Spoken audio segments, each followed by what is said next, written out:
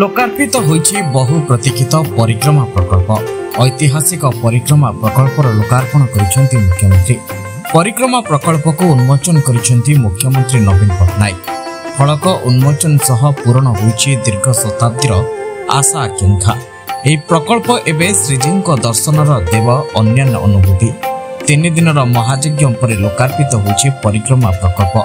ପୌଷ ସପ୍ତମୀରେ ଲେଖାଯାଇଛି ନୂଆ ଅଧ୍ୟାୟ। ଏଥିସହ ଶ୍ରଦ୍ଧାଳୁଙ୍କ ପାଇଁ ଖୋଲିଛି ପରିକ୍ରମା ମାର୍ଗ। ଏହାଦ୍ୱାରା ଜଗନ୍ନାଥ ଦର୍ଶନ ସହ ପ୍ରଦକ୍ଷିଣ ସହଜ ହେବ ଲୋକାର୍ପଣ ଉତ୍ସବରେ ଫାଇଭ୍ ଟି ଅଧ୍ୟକ୍ଷ କାର୍ତ୍ତିକ ପାଣ୍ଡିଆନ ମଧ୍ୟ ଉପସ୍ଥିତ ରହିଥିଲେ।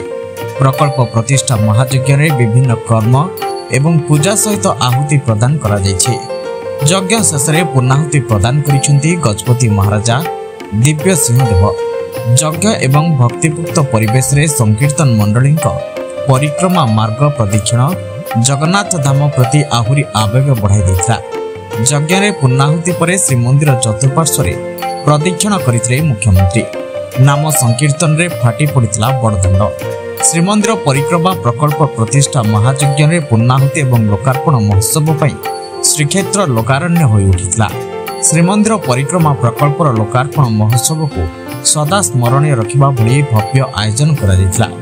ମନ୍ତ୍ରଧ୍ୱନିରେ ମୁଖରିତ ହୋଇ ଉଠିଥିଲା ଶ୍ରୀକ୍ଷେତ୍ର। ନାମ ସଂକୀର୍ତ୍ତନ ସହ ଭାବଭକ୍ତିରେ ଉଛୁଳି ପଡ଼ିଥିଲା ଶଙ୍ଖକ୍ଷେତ୍ର।